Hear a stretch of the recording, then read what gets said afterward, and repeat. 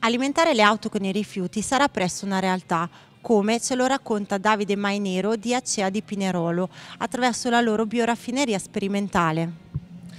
Grazie per l'opportunità. Ehm, dunque noi abbiamo sostanzialmente due progetti in corso che partono da eh, Forsu, quindi dall'umido, alla raccolta dell'umido. Noi già oggi produciamo biogas da biogas energia elettrica e termica e in prospettiva vuol dire giugno di quest'anno il primo impianto di purificazione o upgrading da biogas a biometano e a un anno di distanza, quindi nel 2015, la eh, possibilità di alimentare delle autovetture direttamente.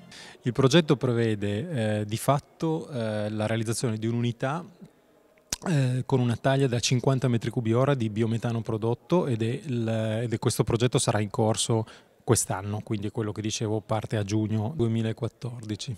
Ci sarà un periodo sperimentale perché è un progetto di ricerca che speriamo si concluda in parallelo all'iter autorizzativo del decreto del dicembre e quindi poi ci permetta di andare effettivamente a utilizzarlo o in rete o in autotrazione.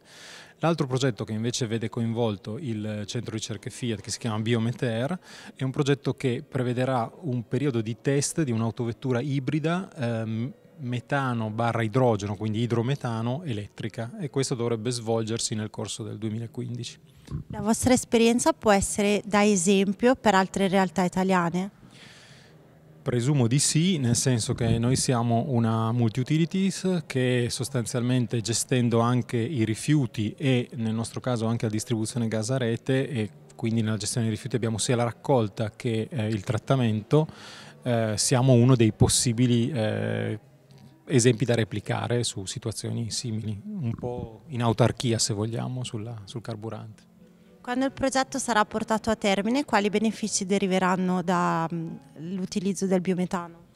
Ma noi oggi abbiamo preventivato dei benefici diretti eh, potenziali che sono quelli diciamo, di sostituirsi eh, nella, diciamo, autoprodursi un combustibile e quindi controllare in qualche modo il costo del combustibile eh, considerando che partiamo da scarti, quindi da, da, rifiuti e quindi noi già oggi siamo pagati perché facciamo un servizio in questo senso. Um, un primo beneficio potenzialmente che è più importante dal punto di vista economico potrebbe essere quello se eh, potremmo accedere agli incentivi del decreto di dicembre, ma oggi non è, non è, una, non è certo insomma.